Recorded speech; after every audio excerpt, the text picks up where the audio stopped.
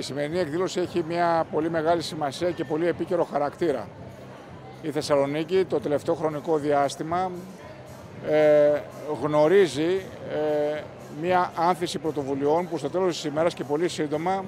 θα έχει σαν αποτέλεσμα την πολύ καλύτερη λειτουργικότητα της πόλης όσον αφορά τη μετακίνηση των πολιτών.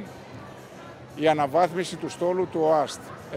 110 νέα σύγχρονα λεωφορεία νέας τεχνολογίας,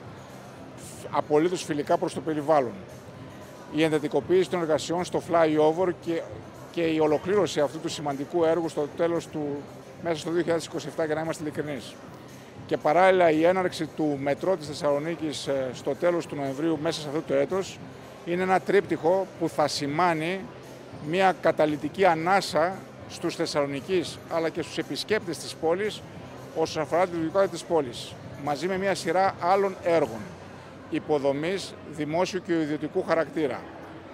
Είμαστε σίγουροι ότι στο τέλος αυτής της πενταετίας, μέχρι το τέλος του 2030, η Θεσσαλονίκη θα είναι μια εντελώς διαφορετική πόλη, μια σύγχρονη λειτουργική πόλη, μια